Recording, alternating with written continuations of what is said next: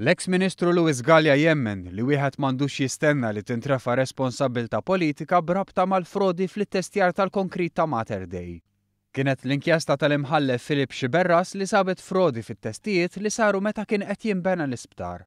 Dan fi żmien li Louis Galea kien responsabbli mis-Saħħa u President tal-Fondazzjoni tax-Xjenzi u s-Servizzi Mediċi. Fi stqarrija li fiha rreaġixxa għall-inkjesta, Louis Galea qal li l-Fondazzjoni u l-Gvern ma kellhom ebda għarfien tal-frodi u żied li sa fejn jaf hu assigura li jitħaddem qafas ta' kontroll adegwat. Xi ħaġa li x-xhieda fl-inkjesta ftit li xejn qablu magħha, tant li periti li ħadmu fuq il-proġett irrakontaw kif it-tmexxija tal-proġett falliet f'diversi aspetti. Skont Galea, ir-responsabilità għandha tintrefa' biss minn dawk li pprovdew jew ittestjaw b'mod frawdolenti l-konkrit ta' kwalità inferjuri.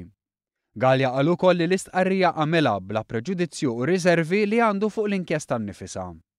L-inkjesta tinnota li erbgħa minn kull ħames testijiet provduti għall-konkrit impoġġi fl-ewwel nofs tal-1996 saru mill-kuntratturi nnifsu u l-wieħed l-ieħor mid-Dipartiment tax-Xogħlijiet, però minn sample provdut lilu mill-kuntrattur innifsu.